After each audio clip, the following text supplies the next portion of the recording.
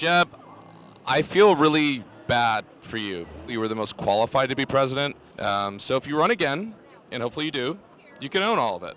Thank you.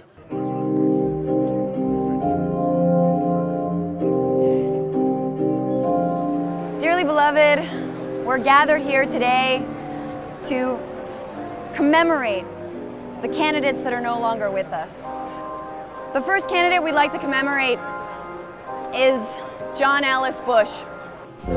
Jeb, we hardly knew ye.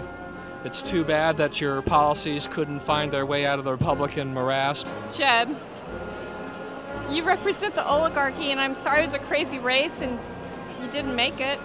Governor Bush, I miss you. I really wish that you were still in the campaign. I was rooting for you. I really wanted a candidate who believed in serious educational reform, and I really appreciated the fact that you spoke Spanish. So thank you very much for making the effort. Lo siento, Gobernador Bush.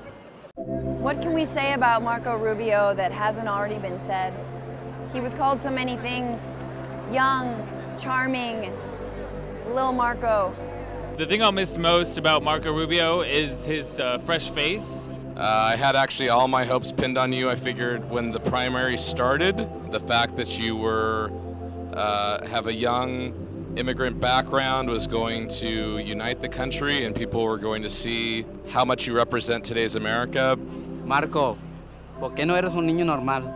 He seemed like such a good conservative person until he decided to get this uh, stupid Gang of Eight amnesty bill. That just absolutely killed him as a candidate. Some people die of gang violence. He died of Gang of Eight violence.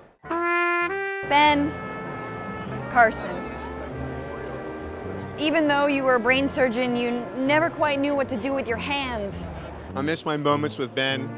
We would gently rock me to sleep with his lovely monotone voice. Well, I like Dr. Carson because he was unaffiliated with politics as well as I am. I think he would have been a wonderful president had he been a better public speaker. You're not a politician, but you're a great guy. Rest in peace. That was Tough day. What's happened? Republicans, what have you done? Who's this guy you let hijack your party? I can't say I'll miss you, but I am super pumped to see what's gonna happen next.